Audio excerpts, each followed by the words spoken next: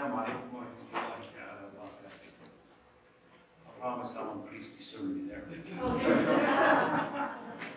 But I'm expecting some friends who are going to be here soon with us. So may the peace of God be with us. And grace, peace, and mercy be unto you from Lord God our Father and our Savior Jesus Christ. Our sermon text for this Mission Sunday, uh, 18th Sunday after Pentecost, is from the book 21st chapter, verses 43 and 44. Therefore I tell you, the kingdom of God will be taken away from you and given to a people producing its fruits. And the one who falls on this stone will be broken to pieces. And when he falls on anyone, it will crush him. How many of you remember the 2016 LWML convention that took place in Lubbock, Texas? Or even remember the, uh, the guest speaker that came to speak at that time? Her name is Cindy Steinbach. She was a uh, she was the author of the book The Vine Speaks, and she uh, did uh, invite a lot of her friends to come and demonstrate how the work of God in the vineyard and how uh, we as people of God are to be fruitful and continue to uh, make good wine for his kingdom. She extended an invitation to our Muslim friends, Muslim neighbors who came that day because they couldn't go inside and hear her speak because they couldn't vote. So we had a lot of women outside. So later she noticed these women dressed up in different clothes and she asked me, why aren't they inside? I said, well, because they're not, uh, they can't vote. So she decided to speak to them at the end and they were so thankful that she uh, communicated the grace of God through this blessed vineyard that her family has been uh, working at for 155 years. I mean, good Lutheran wine that she has been produced. And uh, the, the summary of the labor, I can only express it in this way. It was all squeezed in such a little bottle like this. This is the Steinbach family. Cindy and her family have been. By the way, this is our Pastor Jared uh, gift at the end for his uh, for a, uh, Sunday Pastor Appreciation Day. So this is very much. He's more than one. so the Steinbach family was uh, vineyard was healthy with graceful grapes that have even produced wine for this long. And I can only remember one thing my wife and I went there to uh, watch their work. And I mean, it's it was a huge, huge vineyard. And she took us to this mountain. She said, she said, you know, a good vineyard is usually like we read in the text on, on a hill of a mountain. And she said, uh, working hard and making good wine is our passion, but Jesus is our life. She added, we work hard for Jesus in order to produce good wine. And that's true also in the kingdom of Christ. Today, Mission Sunday, is also a time to celebrate the work of the church and the fruit of its labor within its community and around the world. As partners in the gospel to all peoples, disciples of the way, ministry, in Christ the King, Lutheran Church Waxahachie, share the love of Christ with our neighbors, remembering Jesus, his love for us, his means of grace in the gift of baptism and communion. The word community and the word union together make the word communion. In our gospel reading, Jesus' parable speaks about the vineyard's owner and the vineyard's tenants being engaged in a violent conflict. And that is bad for grapes.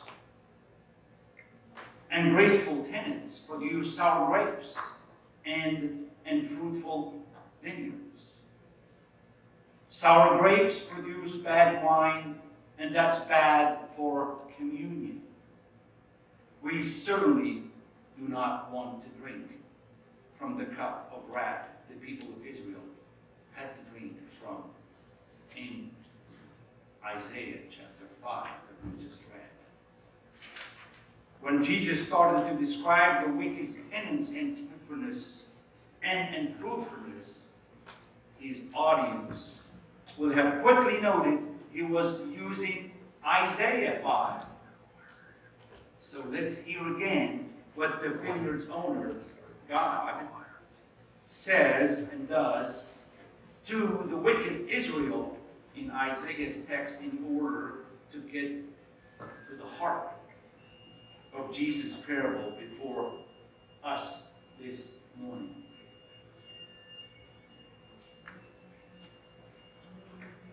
What more was there to do for my vineyard that I have not done in it? When I looked for it to yield grapes, why did it yield wild grapes? And now I will tell you what I will do to my vineyard. I will remove its hedge, and it shall be devoured. I will break down its wall, and it shall be trampled down. Isaiah chapter 5, verses 4 and 5. Notice, the owner of the vineyard, God, does the same work in Jesus' parable. He's not asking Israel or the wicked tenants for repentance at this point. The theme seems to be the call to repentance, but that never actually appears in the text. Rather, there is only the contrast between what the farmer, God, had done and now what the farmer God will do. However, Jesus' parable about the wicked tenants is taking things a step The vineyards isn't just yielding wild grapes. The tenants are beating the help and killing of the heir. The owner's son. What is God to do? both Isaiah and Jesus ask, how should the vineyard's owner handle this? My question for you this morning. What will you do about the wicked acts of violence and injustice taking place in our streets, in our lands, as we speak today? The violence in this passage is not being initiated by an angry and vengeful God. It results from human injustice. Jesus asked, What will the owner do to those tenants? Verse 41 Then the listeners said to him, He will put those wretches to a miserable death and lease the vineyard to other tenants who will give him the produce at the harvest time. These acts of injustice contain within themselves the seeds of their own destruction. Sour grapes produce sour wine. But God's Spirit works and moves the people who want to produce grateful vine that will produce fruitful vineyards if we are not fruitful in the kingdom of Christ and making disciples from all nations globally, God will take it away from us and find people who want to hear and proclaim what they hear to the world. Jesus, the true vine, speaks this morning, and says to every one of us here, I am the vine and you are the branches. Abide in me and you will bear much fruit. The world is God's vineyard. The planet itself and all life upon it. The means of production and work. The activity of the church and its means of grace, of word and sacrament, and the lives we are leading to Christ are all canvassed by God's grateful and fruitful vineyard of the gospel. We must plant for the long haul. We must care about all the tender vines and grapes and to nourish and enjoy this vineyard. Our work include our spiritual lives, our worship as brothers and sisters in Christ, and prayers, building relationship, reaching out with the gospel of Jesus Christ to all people, and serving our community, spreading forgiveness and hope all around the world. I've been studying this text and then I realized that there are three types of vineyards. Number one, vineyard or church. They tell their neighbors, we will pray for you. We will add you to our prayer list. And number two, vineyard or church. Go the extra mile. And they reach out to their neighbors in their communities by serving them and inviting them to come hear the word of God and eat and drink Jesus' body and blood for the forgiveness of their sin. That's not so bad. The number three, which is my favorite, is the grateful. This grateful vineyard makes disciple makers in order to grow the kingdom of Christ, not by addition, but by, by multiplications. This I like to call the apostolic vineyard of Christ. Listen to John chapter 15, verse 7 and 8, how beautifully Jesus says it. If you abide in me, in my words, abide in you, ask whatever you wish, and it will be done for you. By this my Father is glorified, that you bear much fruit, and so prove to be my disciples. Disciple makers are good proof to show that they are working in the vineyard. The ministry of disciples of the way has planted the vines of new life giving and gospel producing ministries in the DFW Metroplex. The mark of a gospel producing vineyard is the production of new, healthy grapes for new wine, and not just drinking everything down in the cellar ourselves.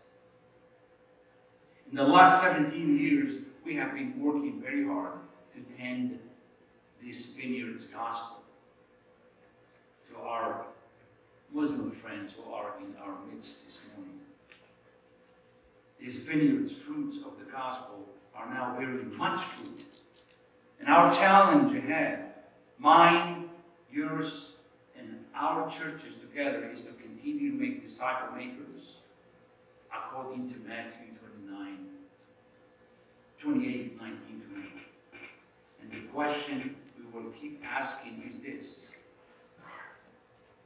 How is God calling you personally and your church to abide in the vine? Here are some statistics I hope that will help you realize the harvest in a, uh, in a world that is just multiplying every day around us. Did you know that there are one, 1 billion, 537 million Muslims in the world today? They make up 22% of the world's second largest religion. Second to Christianity, 28%. Did you know that 4.19 million full-time Christian workers, which is about 95%, are working within the Christian world? What I mean is, the majority of our churches, Christian churches in the world, are ministering to already Christian communities and places in the world. In other words, there is only one Christian missionary for every 400,000 plus Muslims in the world today. Yes, you are looking at the one who is helping to do ministry to Muslim people in our Texas district. According to the 2017 census data, Pew Research Center, 621 Arab Muslims live in the United States today, and 35,000 in one very concentrated area in Dallas. It's called Vickery Meadows. Right off 75 and Park Lane on the other side of the highway.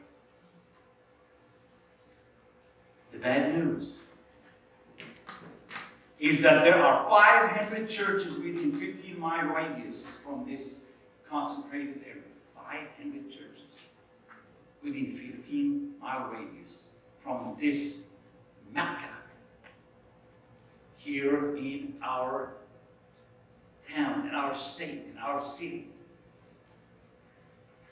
But they are not serious about reaching out to their Muslim neighbors. They want somebody else to do that job. The good news.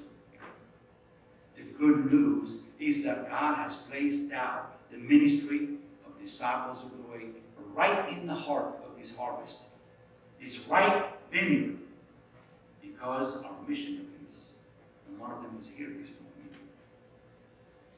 are serious about making its fruit. As Jesus said in verse 543, Therefore I tell you, the kingdom of God will be taken away from you and given to a people producing its fruit. We are serious about the gospel of Jesus Christ because we know at one point in our life, at one time, we didn't know anything about this grace.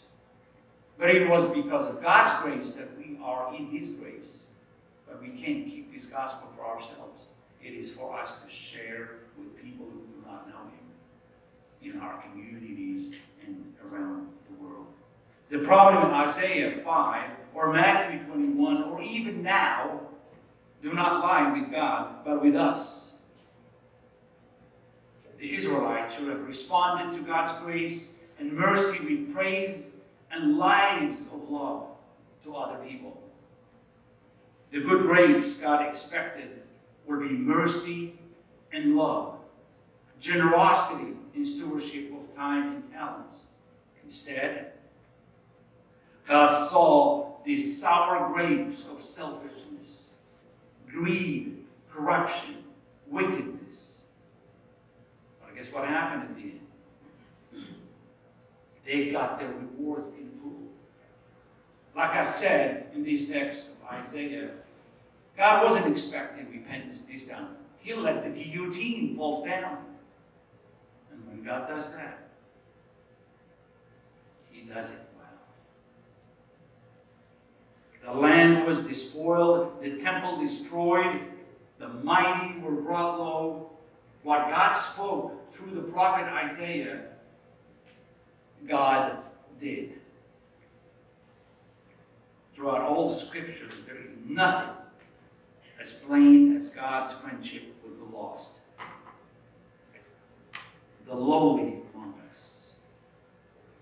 It is the meek who will inherit the earth, those who mourn who shall be comforted, the poor in spirit who will gain the kingdom of heaven. Nothing could show God's love better than the gift of Jesus, the righteousness of Christ that has been given to us freely. His coming is the triumph over sin and evil, death and the devil. for us and for all whosoever believe in him. Let me close with these few words. Judge between God and people. It was the question Isaiah asked for his hearers during the harvest festival in the 8th century BC. It is our question today. God has done so much for us. Yes, even in our darkest times, when we feel abandoned or alone, we have God's promise that God is with us. God has done such great things for us. Now, yes, now, we just pray that we will bear good fruits in our lives and build grateful vineyards and gospel-filled churches in our communities. God will continue to plant and cultivate his beloved vineyard, his church. Grapes will grow again and wine will flow again. So bless us, O Lord. Let your vineyards